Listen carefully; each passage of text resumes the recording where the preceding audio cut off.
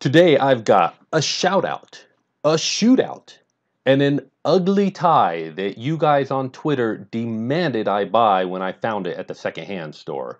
So, thanks. If you're not watching Clarissa on Make It and Fake It, you really should. Her channel is fantastic. I became a fan of her channel when I saw her make a 3D printed ukulele and then at the end of the video actually play the 3D printed ukulele.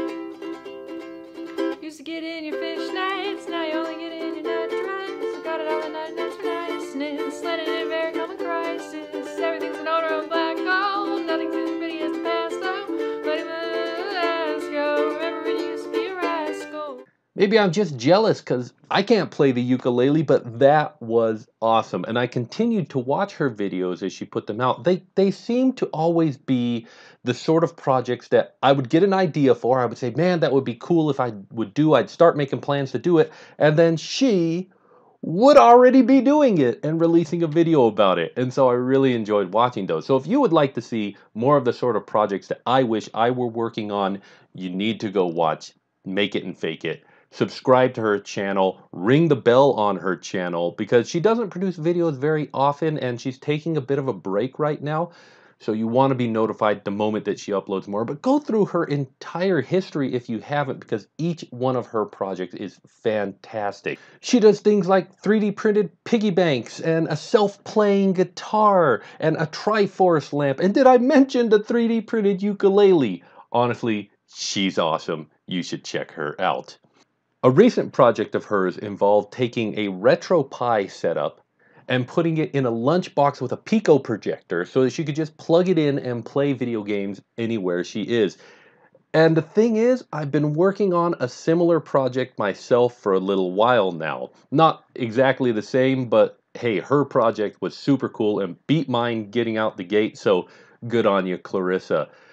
Now, in my project though, I realized I was getting to a point where I needed to have a keyboard constantly attached to the RetroPie setup, especially for the sort of games that I wanted to play. And so I needed to find a good keyboard that would work on any Linux system well that I could use, preferably that would be small, easy to store with the unit as it sits on my shelf, but also wireless so that I could use it from my couch without worrying about that. So, all really complicated things, but fortunately, there are a lot of options for this. And as Clarissa called them, Papa Gearbest was willing to send me a whole bunch of keyboards so that I could compare them head to head and tell you which one is the best one for a Linux based Raspberry Pi system that you could use from your couch. So let's take a look at these and figure out which one of these is the best. Let's start with the TZQ9.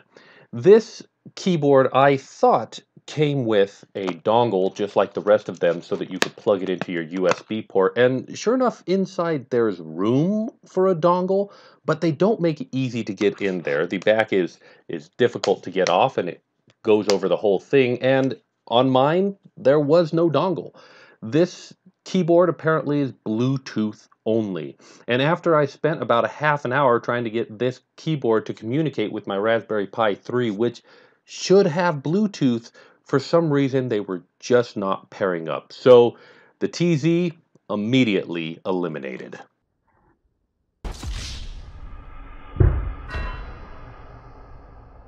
Next, let's take a look at the FN717 wireless keyboard. This keyboard does come with a dongle and it communicates through the USB port, so that's good.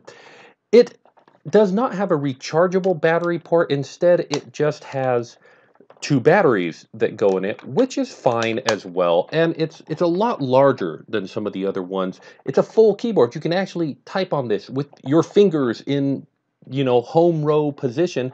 It's got the up, down, left, right arrow keys in the lower right hand corner, which when I was playing the Game Maker games before I could get them configured with the the controller to work, that was actually really useful to be able to control the games up, down, left, right with these keys down here. It just felt natural to do so, probably because of years of training of having the up, down, left, right over here on the keyboard. And so I really liked this keyboard.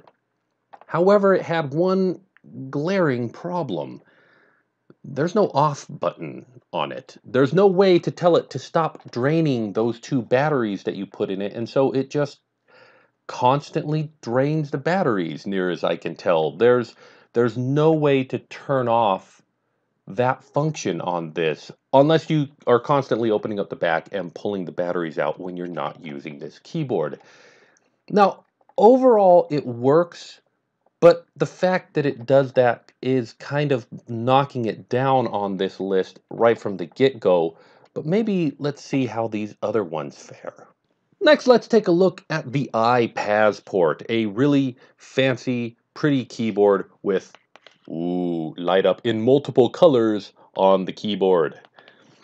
Now, this is perfectly functional. It's got a little battery, rechargeable battery that you just plug in the USB port to charge it in, or you can run it through the USB port, or you can plug in the dongle and run it wirelessly. The functionality on this keyboard is really good, and once I got it configured properly, it had all the keys that I needed in order to run a Linux environment, including the ever important vertical pipe command, which if you use Linux, you understand the importance of. If you're in Windows, you might not get what that's important for. But this keyboard has it, and I was happy to find it on there. And I was able to use this for almost all of my functions. Almost. Now, the one thing that made this keyboard a little bit less desirable was that it's got its up, down, left, right arrow keys up here with an enter key in the middle. That's not bad. But when I tried to use that to play games, using up, down, left, right with my right thumb was not natural for me. And again, this is just years of training because I'm used to up, down, left, right being with my fingers on the arrow keys and up, down, left, right being with my left thumb on the keypad. This one put it on the right and it was difficult for me to get used to. Now, maybe kids who have been playing first person shooters for years and are used to using dual sticks might have an easier time doing that. Personally, I've only ever played first person shooters with a mouse. I'm old school, so this might not be as big a problem for you as it is for me. However, uh, and, and fancy light up keyboard, this might be a good choice. And I did find this, the iPassport, perfectly functional. I was super impressed with this keyboard and would recommend. There might be one that I recommend a little more, so let's take a look at the others. The C120 Air Mouse. I was super excited about this one because not only did it have a keyboard on one side, but it also had an accelerometer in it so that using the mouse function, you just move up and down and, and things like that. It's designed to use for presentations. Uh, you have volume control and up, down, left, right on this side, but then you can pull it over and do some limited keyboard functionality. And I do mean limited.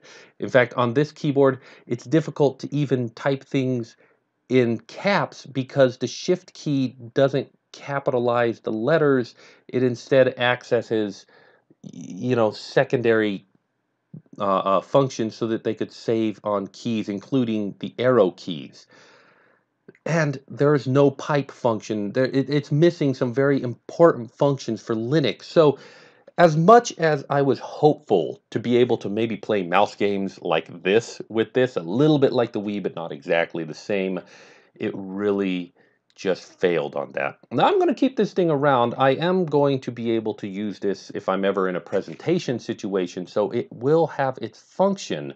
Another weird thing about it though is that the dongle for it has no home on this thing anywhere whatsoever.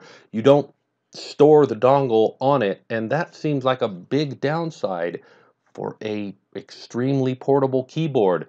So definitely for Linux, the C120 is out. And for other functions, it's probably functional in limited senses, but I'm not super impressed with this. Lastly, we've got the P9 keyboard, which on the surface looks a lot like the Passport, which I really enjoyed. It even has the cool light up function, although its light up function is on or off with red. It doesn't light up the way that the images say, unless, hold on. No, wait, nope, can't change it. Can't figure out how to change it. It might have some functionality. Maybe I should read the manual for it. All right, manual seems to indicate that if we, okay, if we do that and then, oh yeah, oh check it out. Hold on, there it is. No, yeah, we're in we're in color change mode. How cool is that? But I found it functional. I found that it worked. I liked the the shoulder buttons for the left and right mouse button. I liked the mouse on the butt middle. But then what I discovered was it up, down, left, right is on the left where my thumb expects it to be, which made it easier for playing games. Still a little bit awkward because for a lot of these games I had to hit the space bar, so I have to hold it like this to do it. But not as awkward as it was with the iPassport. Now this is a buck or two more than the iPassport, and aside from the fact that the arrow keys are on the other side, and the fact that it doesn't get as many pretty colors in it, it doesn't add a lot more functionality than the iPassport. So for me, the choice really comes down to these two. And if you can afford the buck or two difference, I kind of like the P9. The P9 also is unfortunately not named the P9 on GearBest. It is just called a 2.4G wireless uh, keyboard, touchpad, multipad. It's just descriptive. It doesn't have any branding on it other than what is on the box. So it might be harder to find this one. And if you end up having to go with the iPassport, you're not going to be hurting too bad for it. But for me, it's one of these two keyboards for using on my RetroPie system. Now, as far as the RetroPie system goes, I will be telling you more about that in the future, but I'm still getting that all put together, so expect that in a future video. But while I'm putting that together, I'd like to hear from you. What games do you want to be able to play on a RetroPie system? What games would you want to have a RetroPie system for? leave a comment in the description for that. And if you have any, if I have any other thoughts, I will put a comment in the description with a link to my blog. Oh, look at that. A new URL for my blog, easier to remember. So that's super cool. You can get more details there. But until then, I want to thank you very much for watching. Big thanks to my Patreon backers. Your guys' support is more needed now than ever, and I thank you for that. And as always, I want to remind you, safety first. I'll see you next time. Do you want to know more about 3D printing but don't know where to start? Or did you buy a 3D printer but you need some help getting it going? Don't panic. The Beginner's Guide to the 3D Printing Galaxy is here, now, for you. Buy it on Amazon. There it is. No, yeah, we're in we're in color change mode. How cool is that? Oh, so neat. All the colors. Not just three or four, all the colors. Oh, I love this. This is this is the winner right here. P9. That's the winner for here. Ooh, we're gonna go with that color. That's the winner.